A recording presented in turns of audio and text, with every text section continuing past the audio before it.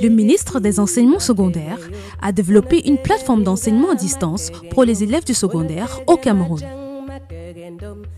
Une série d'enseignements dispensés par les enseignants de qualité pour les élèves du secondaire. Apprendre n'a jamais été aussi simple avec l'enseignement à distance. Une initiative du ministère des Enseignements secondaires sous la supervision du professeur Nalova Lyonga en collaboration avec le ministère des Postes et Télécommunications, la CAMTEL, la CRTV et l'UNESCO. Nous introduisons l'enseignement à distance comme une autre méthode d'enseignement et d'apprentissage qui diffère du cadre de classe traditionnel auquel vous êtes habitué.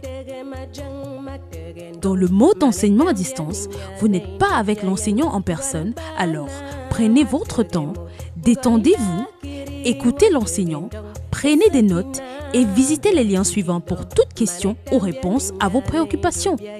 Allez-y à votre rythme. La solution du Cameroun contre le Covid-19 et au-delà. Professeur Nalova Lyonga, ministre des Enseignements secondaires. Bienvenue dans notre séance d'apprentissage.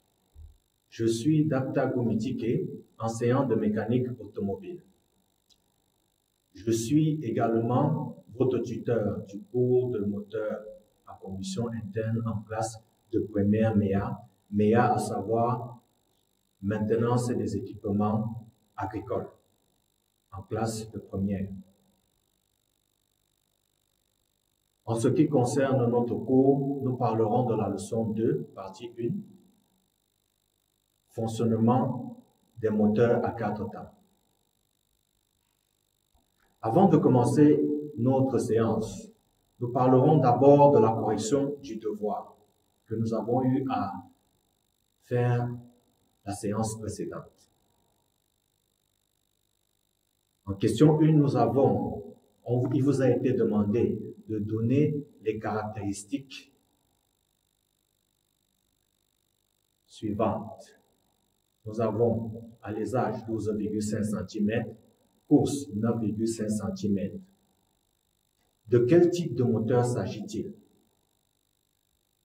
Vous devez savoir que l'alésage, qui est de 12,5 cm, correspond au diamètre intérieur du cylindre et la course, quant à elle, correspond au déplacement du piston du point mort haut vers le point mort bas.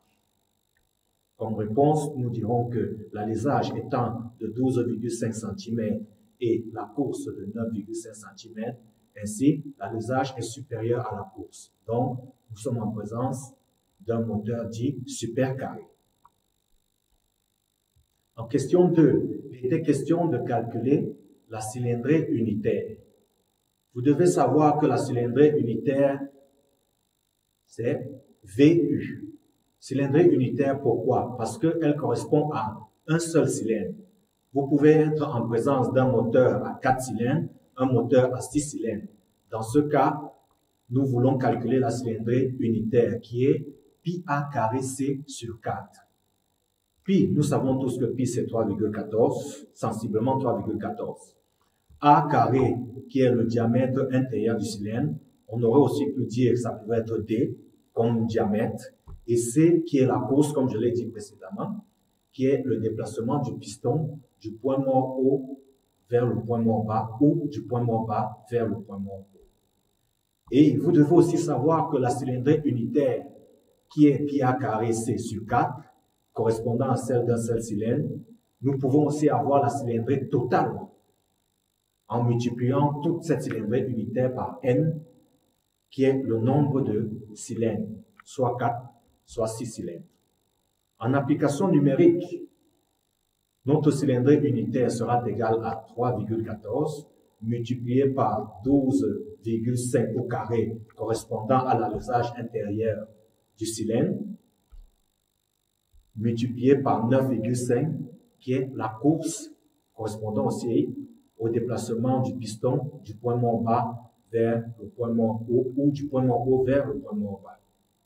Le tout divisé par 4. Au final, cette cylindrée unitaire est égale à 1165,23 cm3. Il aurait été aussi possible qu'on vous demande l'unité en mètres cubes, en décimètres cubes. Ainsi, vous aurez eu à faire une conversion.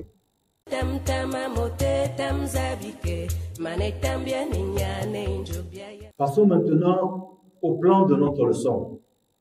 Nous aurons objectif, prérequis, situation problème, activité d'apprentissage, résumé, exercice d'application, devoir. Concernant les objectifs de la leçon, lire et interpréter les schémas de principes et diagrammes, décrire le fonctionnement des différentes phases du moteur. Vous devez savoir que, lorsqu'on parle d'interpréter les schémas de principes et du diagramme, nous avons le schéma de principe, bien sûr, qui sera un schéma où nous aurons un moteur à quatre temps, vous aurez à déterminer l'admission, la compression, l'explosion des temps, ainsi de suite, avec ces schémas. Et en ce qui concerne la description du fonctionnement des différentes phases, bien sûr, vous aurez expliqué est-ce que la soupape d'admission s'ouvre, est-ce qu'elle se ferme, le piston va-t-il du point haut vers le point moins bas, combien de tours avons-nous à effectuer, et ainsi de suite. Comme prérequis, vous devez savoir que vous devez avoir des notions d'abord de base qui sont des notions sur l'automobile et les notions sur les moteurs. Vous devez savoir une automobile, ça fonctionne comment? Comment est-ce qu'elle Qu'est-ce qui se passe à l'intérieur du moteur? Comment est-ce que l'énergie est transformée? Et les notions sur les moteurs. Vous êtes en présence d'un tracteur appartenant à Monsieur Jean. Celui-ci vient vous voir et aimerait avoir des spécifications par rapport à son tracteur, plus particulièrement concernant le moteur de son tracteur. Comme question, nous aurons quels sont les quatre grands groupes qui assurent le fonctionnement du moteur thermique de son tracteur? Puis, à quoi est égale en degrés la rotation du vilebrequin pendant un cycle du moteur de son tracteur? Nous parlerons ensuite de la description du moteur à quatre temps. Dans la description du moteur à quatre temps, nous dirons que nous sommes en présence d'un moteur diesel parce que les véhicules agricoles utilisent du gasoil, donc ce sont des moteurs diesel. Et nous aurons un injecteur, par cylindre bien sûr, une soupape d'admission, un joint de culasse, un carter ou bloc moteur, une bielle, un carter inférieur, un couvre-culasse, une soupape d'échappement, une culasse, une chambre de combustion, un piston, l'eau de refroidissement et le vide-boquin comme vous pouvez le voir sur la figure de description du moteur. Groupe fonctionnel des moteurs diesel. Concernant le fonctionnement du moteur thermique, il est assuré par l'association de quatre grands groupes. Les systèmes mécaniques, le circuit d'alimentation, le circuit de préchauffage les circuits auxiliaires. Les systèmes mécaniques assurent la transformation du mouvement rectiligne alternatif du piston en mouvement de rotation du vilebrequin. Vous devez savoir que lorsque nous effectuons un démarrage avec un véhicule, nous avons un démarreur qui va agir sur un volant moteur. Le volant moteur, à son tour, va faire tourner le, excusez-moi, le démarreur va faire tourner le moteur, donc le vilebrequin. Le vilebrequin, donc en entrant en rotation, va se mettre à tourner et effectuer, permettre maintenant à la bielle d'effectuer des mouvements alternatifs, qui veut dire que la bielle va se déplacer du haut vers le bas, ainsi de suite. Donc, c'est pour ça que nous disons mouvement alternatif et mouvement de rotation.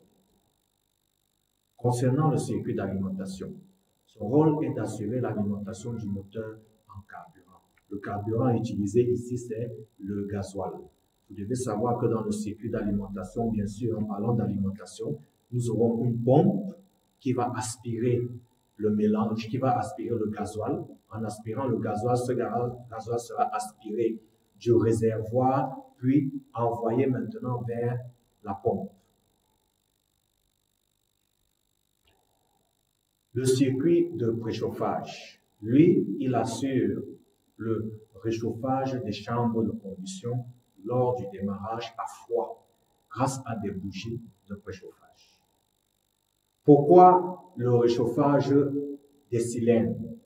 Parce que le moteur étant à froid, pour que le gasoil puisse facilement s'enflammer lors de son injection dans de l'air comprimé, il faudrait que les chambres de combustion soient particulièrement réchauffées ainsi que les cylindres. Voilà pourquoi nous utilisons des bougies de préchauffage. Et à titre indicatif, le moteur diesel n'utilise pas de bougies d'allumage, mais plutôt des bougies de préchauffage. Les circuits auxiliaires. Comme circuit auxiliaire, nous avons le système de lubrification, le système de refroidissement, système de démarrage et de charge, bien sûr, à savoir circuit électrique. Passons maintenant au principe du cycle à quatre temps. Dans un cycle à quatre temps, vous devez savoir que le piston effectue une course descendante qui tend du point mort haut vers le point mort bas, qui sera de l'admission, et ainsi de suite. Et lors de cette descente, le piston, le vilebrequin va effectuer 180 degrés, soit demi-tour. Et à chaque temps, nous aurons un demi-tour du vilebrequin, ce qui correspondra à 180 fois 4, qui fera 720 degrés. Ici, nous dirons aussi que 180 fois 4 peut aussi être égal à 360 degrés fois 2, soit 2 tours du vilebrequin. Alors que l'arbre à son tour, va faire un tour. Pourquoi un tour? Parce que le diamètre de la roue dentée du vilebrequin est inférieur à celui de l'abacan. Le temps moteur est le troisième temps, l'inflammation détente. Les trois autres temps, l'admission, la compression et l'échappement, sont appelés temps résistants. Pourquoi disons-nous que nous, sommes en présence d'un temps moteur qui est l'inflammation détente? Parce que lorsque le piston à la fin du deuxième temps, ayant fini complètement de comprimer l'air, il y aura injection du gasoil. Et lorsqu'il y aura injection du gasoil, nous aurons une inflammation spontanée. Cette inflammation va créer donc, va repousser brutalement le piston vers le point mort bas. Et à chaque temps, cela va se produire. C'est pour ça que nous disons que ce sont des temps moteurs. Comme je l'ai dit précédemment, le premier temps du moteur étant l'admission, le piston, lui, va descendre du point mort, va quitter du point mort haut vers le point mort bas. Le piston, lui, quittera du point mort haut vers le point mort bas, comme vous pouvez le constater sur la figure 3 à l'admission. La soupape d'admission va s'ouvrir. La soupape d'admission va s'ouvrir et vous aurez la soupape d'échappement qui sera fermée. Le piston, donc, en descendant, va créer une dépression. Cette dépression, ça sera une aspiration. Donc, elle crée, le piston crée un vide pour aspirer l'air. Bien sûr, cet air va passer dans un filtre pour que nous, aurons, nous ayons de l'air filtré. Le deuxième temps, quant à lui, sera la compression. Lors de la compression, le piston quittera du point mort bas vers le point mort haut. La soupape d'admission, elle, comme vous pouvez le voir, sera fermée. La soupape d'échappement sera aussi également fermée et nous aurons donc une compression de l'air. L'air sera comprimé dans la chambre de combustion. Nous aurons donc une augmentation de la pression et de la température avec une réduction du volume. Troisième temps qui correspond à l'inflammation des tentes.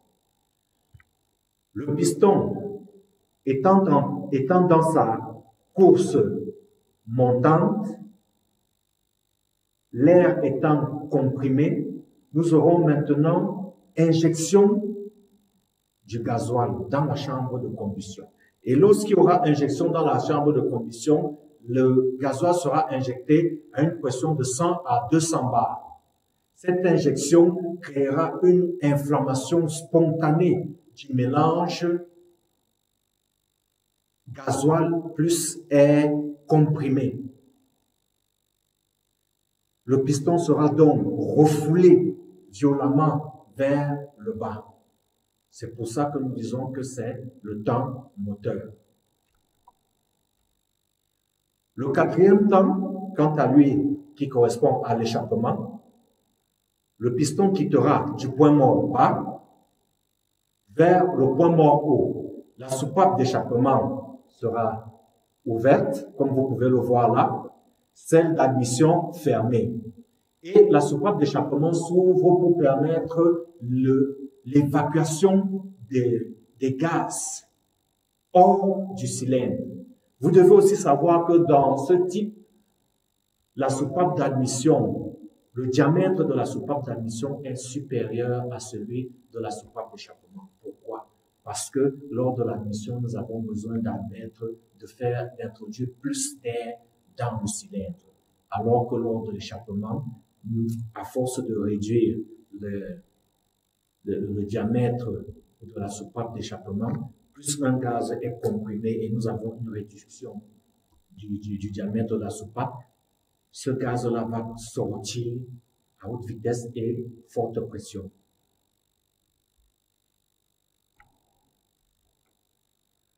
Passons maintenant au récapitulatif de notre cycle.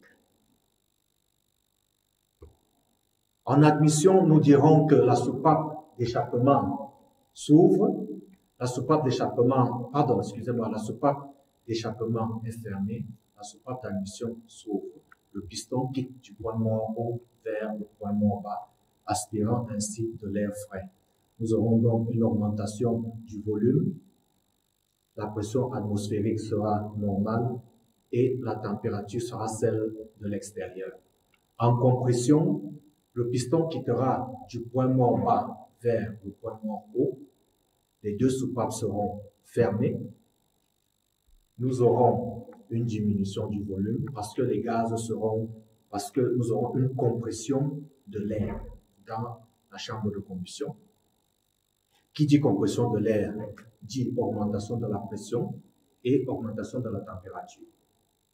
Au troisième temps, nous aurons l'inflammation des tentes nous aurons injection du gasoil dans la chambre de combustion contenant de l'air préalablement bien comprimé. La soupape d'admission et la soupape d'échappement seront fermées.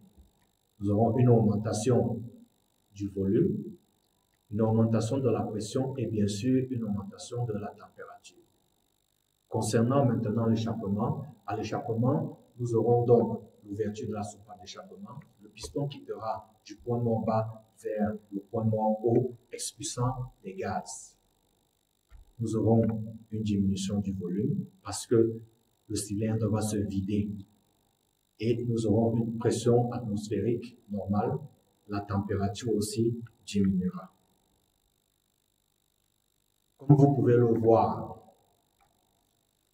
le piston qui tend du point mort haut en allant vers le point mort bas effectuera un demi-tour qui est de 180 degrés correspondant à l'admission de l'air uniquement. Puis, second demi-tour, nous aurons la compression. Le piston effectuera, le vide-boquin, pardon, effectuera également un demi-tour, à savoir 180 degrés également correspondant au total à un tour. Et un tour qui correspond à deux temps, admission plus compression.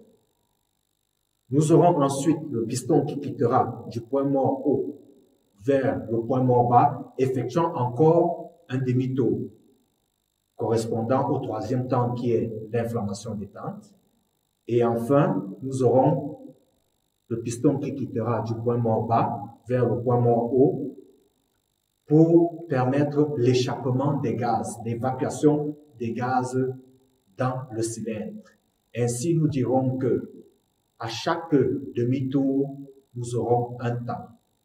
Et pour un temps complet, nous aurons deux tours du vilebrequin.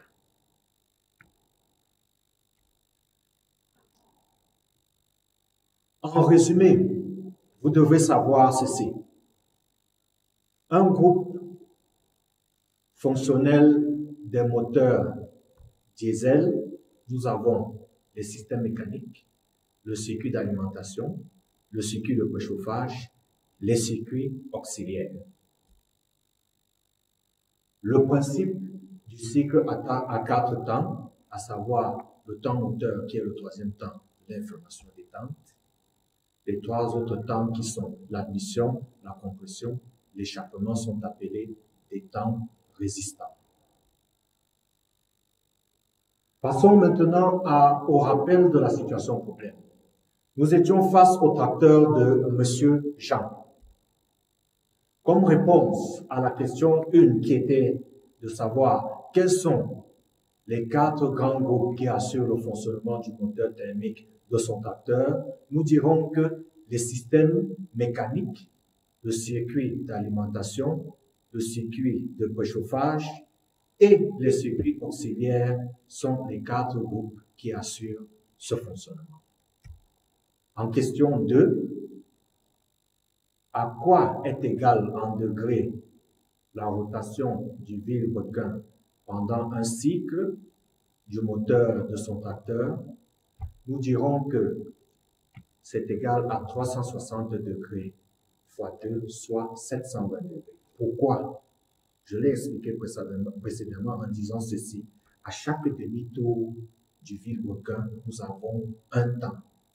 Donc, nous aurons 180 degrés multipliés par 4. Et 180 degrés multipliés par 4 correspondra à deux tours, à savoir 180 degrés pour chaque temps du moteur du tracteur de M. Jean.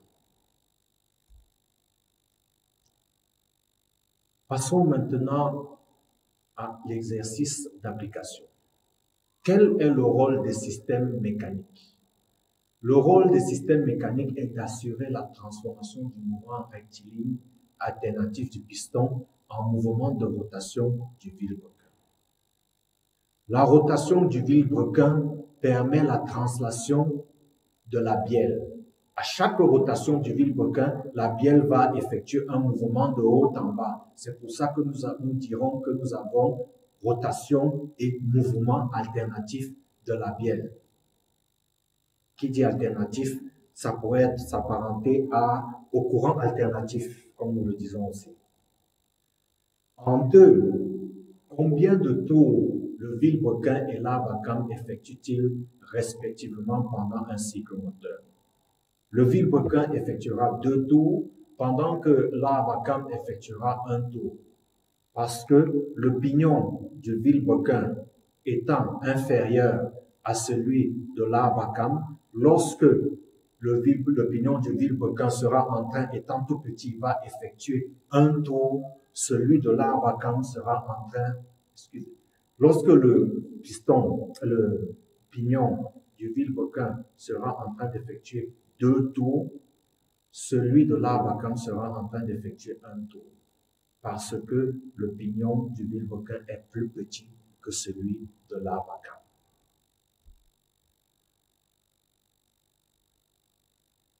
En question 3, sur un moteur thermique, quel est le temps moteur? Le temps moteur est le troisième temps, parce que c'est à ce moment-là que nous avons une inflammation détente il y a injection du gasoil dans de l'air fortement comprimé. Cela créera une inflammation qui repoussera fortement le piston vers le point mort. En question 4, quel est le troisième temps sur le moteur diesel? Le troisième temps est l'inflammation des temps. Parce que nous avons dit précédemment, le premier temps étant l'admission qui est le piston qui tend du point mort vers le point mort bas, aspirant uniquement de l'air. En compression, nous avons le piston qui quittera du point mort bas vers le point mort haut, comprimant l'air bien sûr, et nous aurons donc une injection du gasoil dans la chambre de combustion, ce qui créera une inflammation spontanée correspondant au troisième temps, qui est le temps moteur. Et cela se passera dans tous les cylindres. Comme devoir à faire, en question 1, expliquer le principe de fonctionnement des quatre temps d'un moteur diesel. En question 2, à quoi est égal en degrés la rotation du vilebrequin pendant un cycle.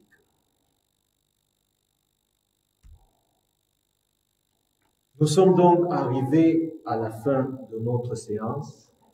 Comme prochaine leçon, nous aurons le fonctionnement des moteurs à quatre temps, partie 2. Unatege si